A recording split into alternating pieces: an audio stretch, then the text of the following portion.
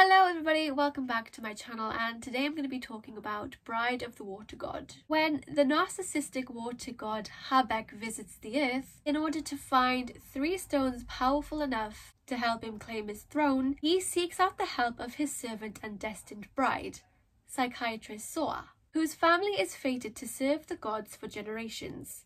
The problem is she has no belief in the gods and initially mistakes him for suffering from delusions. Things get even more stranger when the wind god, the water goddess and the semi-god turn up to complicate things. Now if you're not a fan of fantasy romance dramas, look no further, this one isn't for you. There are a few things that I liked about this drama. The actors, mostly Nam Joo Hyuk. I liked the story, the comedy, cinematography and the OST. There is a but though. There's always a but. One thing that does annoy me about Korean dramas is when the heroine doesn't stick up for herself.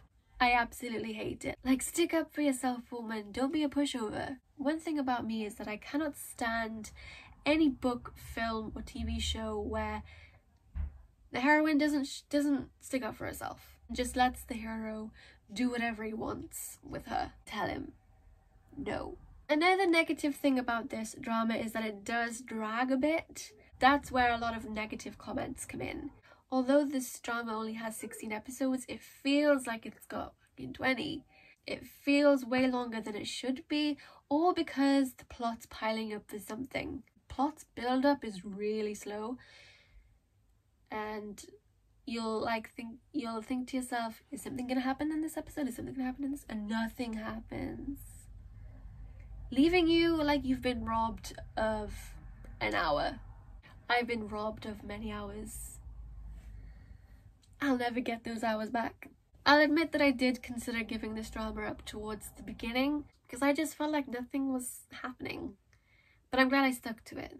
Everyone knows I hate leaving a Korean drama unfinished. All I have to say about this drama is give me Lord Ha-baek for myself. Anyway, my overall rating of this drama is 4 stars. That is it for this video. Thank you so much for watching and I'll see you in the next video. Bye!